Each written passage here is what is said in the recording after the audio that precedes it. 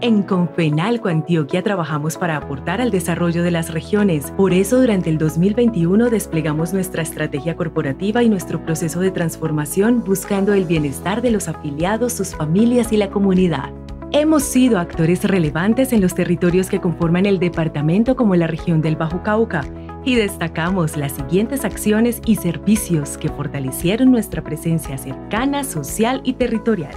la entrega de 1.559 kits escolares y de 135 becas educativas, la consecución de 715 empleos a través de nuestra agencia. Firmamos el convenio para el programa Gestación a dos años con el municipio de Nechí y en el 2022 ayudaremos a 100 familias vulnerables del municipio. La acogida de nuestras pausas activas en más de 150 empresas de todo el territorio, con lo que buscamos generar hábitos de vida saludable en los trabajadores. También nos articulamos para generar procesos que le apostaran a la cultura y el deporte,